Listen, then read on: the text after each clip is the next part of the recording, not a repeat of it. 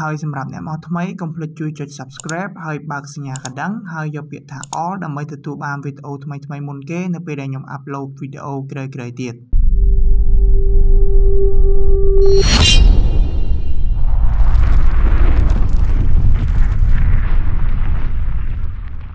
អូខេសួស្តីអ្នកទាំងអស់គ្នាជួបជាមួយនឹងខ្ញុំបាទម្ដងទៀតហើយ Pro LA Gaming ស្វាគមន៍មកកាន់វីដេអូថ្មីអូខេនៅក្នុងថ្ងៃហ្នឹងដែរគឺខ្ញុំមកធ្វើការនិយាយតាក់ទងជាមួយនឹងការផុសវីដេអូ Mobile Legend នៅក្នុង TikTok អាចរកលុយបានព្រោះដោយសារតែមានគ្នាយើងគាត់សួរខ្ញុំច្រើនខ្លាំងមែនតើជាមួយនឹងការផុសវីដេអូ Mobile Legend នៅក្នុង TikTok អាចរកលុយបានហ្នឹងព្រោះដោយសារតែមួយរយៈនេះគឺគ្នាយើងបានឃើញស្រាប់ហើយនៅក្នុង TikTok គឺខ្ញុំឃើញគេផុសអាហ្នឹងច្រើនខ្លាំងមែនតើហើយនៅក្នុងថ្ងៃហ្នឹងគឺខ្ញុំមកនិយាយប្រាប់ដល់អ្នកទាំងអស់គ្នាឲ្យអ្នកទាំងអស់គ្នាបាត់ចម្ងល់ចឹងណាហើយខ្ញុំនិយាយថាអ្វីដែលខ្ញុំដឹងទេអ្នកនរគ្នាគឺសូមបញ្ជាក់ឲ្យហើយអូខេអញ្ចឹងយើងមកមើលជាមួយនឹងវីដេអូនេះមកដែលខ្ញុំចូលទៅធ្វើពីសុំអញ្ចឹងណាហើយខ្ញុំនឹងបញ្យល់ប្រាប់អ្នកទាំងអស់គ្នាអញ្ចឹងនៅពេលដែលអ្នកទាំងអស់គ្នាចូលមកដល់ក្នុង TikTok ហើយអ្នកទាំងអស់គ្នាចុចមកកន្លែង search នេះមកដើម្បីយើងចូលទៅធ្វើអញ្ចឹងណាអញ្ចឹងនៅពេលដែលអ្នកទាំងអស់គ្នាចុចមកដល់កន្លែង search ហ្នឹងហើយអ្នកទាំងអស់គ្នាវាយអក្សរថា MLBB pop internal អ្នកទាំងអស់គ្នាវាយតែប៉ុណ្្នឹងមកគឺវាចេញនៅលើគេនឹងតែម្ដងគឺវាអត់ពិបាកទេហើយអ្នកទាំងអស់គ្នាចុចនៅលើនឹងមកអ្នកទាំងអស់គ្នានឹងបានឃើញជាមួយនឹងរូបភាពបែបនេះហើយអ្នកទាំងអស់គ្នាចុចនៅលើរូបណាណាហ្នឹងមកអ្នកទាំងអស់គ្នានៅពេលដែលចូលមកដល់កន្លែងហ្នឹងគឺអ្នកទាំងអស់គ្នាបានឃើញហើយជាមួយនឹង event អីគឺគេប្រាប់នៅនឹងទាំងអស់ហើយជាមួយនឹង event ហ្នឹងគឺវាមានរយៈពេលវាដែរអ្នកទាំងអស់គ្នាមិនមែនចេះតែធ្វើទេ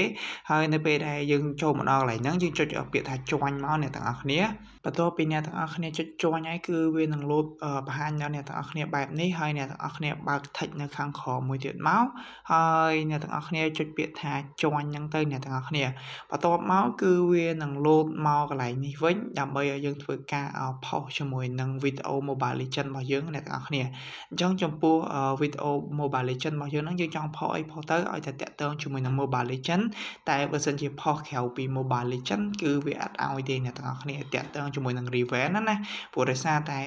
event ហ្នឹងគឺសម្រាប់តែ Mobile Legend ទេហើយកន្លែងហ្នឹងគឺខ្ញុំសូមកាត់អ្នកនរគ្នាហើយខ្ញុំកាត់ចូលទៅដល់កន្លែងផុស TikTok ហ្មងទៅ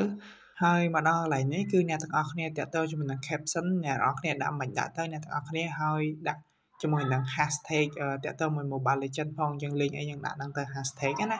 ហើយនៅពេលដែលអ្នកទាំងអស់គ្នាផុសហើយគឺវានឹងលោតបែបនេះ អញ្ចឹងអ្នកទាំងអស់គ្នាបន្ទាប់ពីផុសហើយអ្នកទាំងអស់គ្នាចុចមកកន្លែង search វិញមកដើម្បីមើលជាមួយនឹង account របស់យើងណាអញ្ចឹងអ្នកទាំងអស់គ្នាចុចលើរូបណាណានឹងត្រែលមកហើយអ្នកទាំងអស់គ្នាចុចមកកន្លែង revamp មកអ្នកទាំងអស់គ្នាព្រោះដោយសារតែយើងបានជួញរួចហើយអញ្ចឹងគឺអ្នកទាំងអស់គ្នានឹងបានឃើញជាមួយនឹងវីដេអូដែលយើងផុសហើយអ្នកទាំងអស់គ្នាចុចមកកន្លែង income មកបន្ទាប់ពីអ្នកទាំងអស់គ្នាចុចមកដល់កន្លែង income ហ្នឹងហើយគឺអ្នកទាំងអស់គ្នានឹងបានឃើញជាមួយនឹងរូបខ្វាញ់ TikTok ហើយជាមួយនឹង live gift អ្នកទាំងអស់គ្នាអញ្ចឹងតកតងជាមួយនឹងលុយដែលយើងអាចរកបានចេញពី TikTok ដោយយើងផុសជាមួយនឹងវីដេអូ Mobile Legend ហ្នឹងតើតាមានការ gift ពីអ្នកមើលបានយើងអាចទទួលបានជាមួយនឹងលុយនឹងអ្នកទាំងអស់គ្នាគឺមិនមែនយើងផុសទៅយើងបានលុយទេអ្នកទាំងអស់គ្នាហើយតកតងជាមួយនឹង gift ហ្នឹងប្រហែលជាអ្នកទាំងអស់គ្នាបានដឹងហើយតកតងជាមួយនឹងការ gift ហ្នឹងព្រោះដោយសារតែ account បរទេសជាច្រើនដែលយើងធ្លាប់ឃើញណាគឺមានជាមួយនឹងការឲ្យកដោហ្នឹងដូចជារូបផ្កា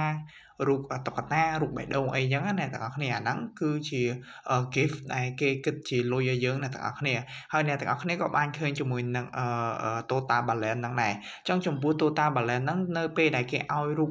ត្បូងឲ្យយើងរូបផ្កាឲ្យយើងគឺគេនឹងគិតនៅហ្នឹងឯអ្នកទាំងអស់គ្នាប៉ុន្តែជាមួយនឹងលុយដែលយើងត្រូវដកហ្នឹងគឺខ្ញុំអត់ទាន់ដឹងថាវាដកតាមណាទេអ្នកទាំងអស់គ្នាគ្រាន់តែគេដាក់ថា withdraw withdraw ហ្នឹងនៅពេលដែលយើងមានលុយទៅយើងចុចលើ withdraw ហ្នឹងទៅគឺគេនឹងបង្ហាញជាមួយនឹងដៃគូសហការដកលុយតាម TikTok ហ្នឹងឲ្យយើងឃើញតែម្ដងអញ្ចឹងគឺវីដេអូរបស់ខ្ញុំគឺខ្ញុំមានតែប៉ុណ្្នឹងទេដែលខ្ញុំមកចង់បង្ហាញដល់អ្នកទាំងអស់គ្នាហើយបើសិនជាគ្នាយើងពេញចិត្តនៅវីដេអូហ្នឹងកុំភ្លេចជួយចុច like នៅវីដេអូហ្នឹងម្នាក់មួយជួយចុច subscribe បាក់សញ្ញាកណ្ដឹងដើម្បីទទួលបានវីដេអូថ្មីថ្មីមុនគេនៅពេលដែលខ្ញុំ upload វីដេអូក្រោយៗទៀតចឹងអ្នកទាំងអស់គ្នា